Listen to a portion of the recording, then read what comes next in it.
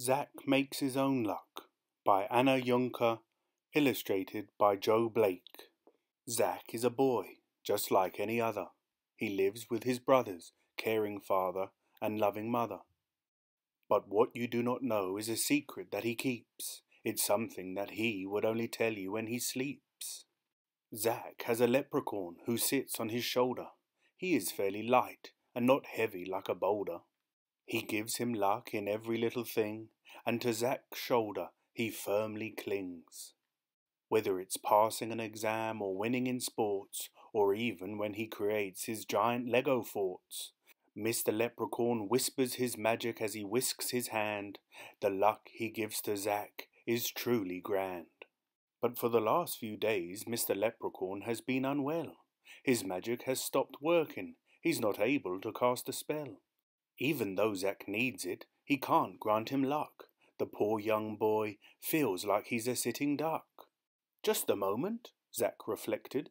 I may not need all your luck as I suspected. I may have been a bit too greedy, and I don't think it's reasonable to be this needy. Not to worry, Mr. Leprechaun, now you can rest. I will work hard at everything and try to be my best. So Zack began studying as best he could, memorizing his books, knowing he would do good. He gave his very best on every test, and to his own good luck he aced the rest.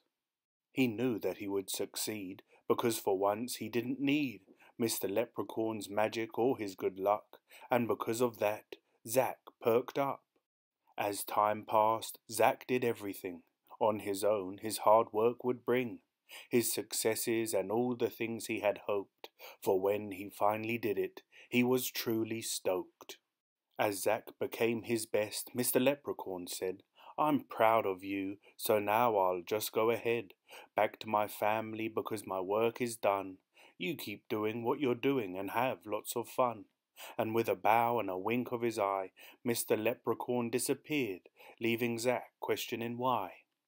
But now he's happy because he finally realized his own luck and efforts are soon to be recognized.